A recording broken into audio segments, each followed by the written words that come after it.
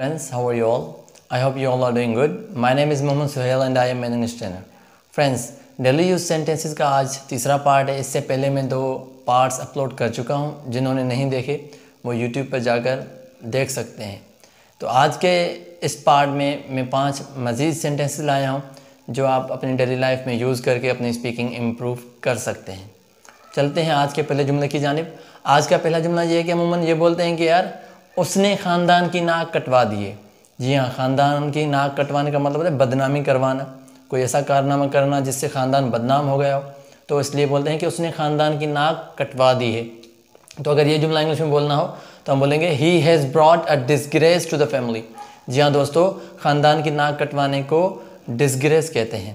कि मैंने अपने ख़ानदान की नाक कटवा दी है तो I have brought a disgrace to my family हमने अपने ख़ानदान की नाक कटवा दी है we have brought a disgrace to our family अच्छा अगर टेंस चेंज करना हो तो ब्रॉड की फ़र्स्ट फॉर्म है, वो यूज़ करेंगे। मिसाल के तौर पर मैं ये बोल रहा हूँ कि वो ख़ानदान की नाक कटवा देगी।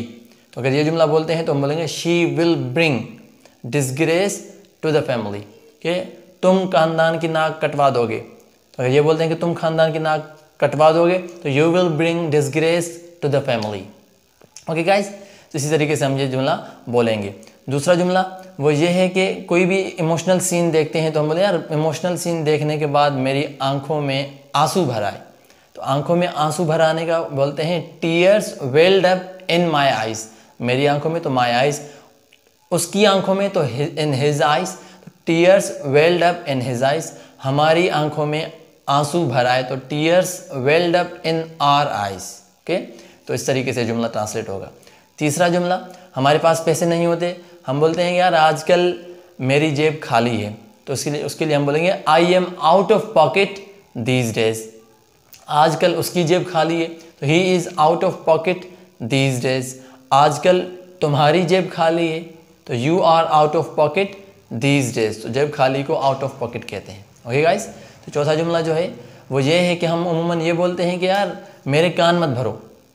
मेरे कान मत भरो तो बोलेंगे डोंट पॉइजन माई ईयर्स जी हाँ दोस्तों पॉइजन जहर को बोलते हैं, लेकिन यहाँ पर ये एक मीनिंग के तौर पर इस्तेमाल हो रहा है तो इस चीज़ का मफहम दिया जा रहा है कि यार, जहर बोलना मतलब कुछ उल्टा सीधा बोलना तो इसे बोलते हैं कान भरना।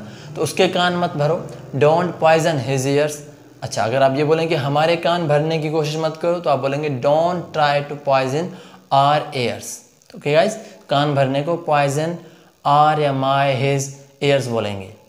आज का लास्ट सेंटेंस जो ही जो कि इंतहाई इंटरेस्टिंग है बाज़ ये लोग गलत बोल देते हैं। वो ये है कि मेरा सर मत खाओ या फिर मेरा दिमाग मत खाओ।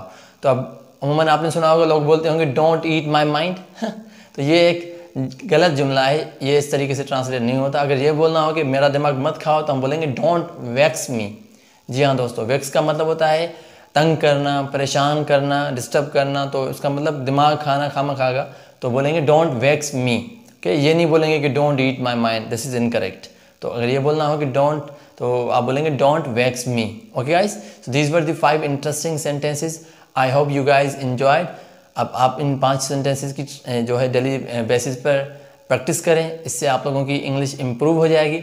Will see you in the next part till that take care अल्लाह हाफिज़ एंड कीप प्रैक्टिसिंग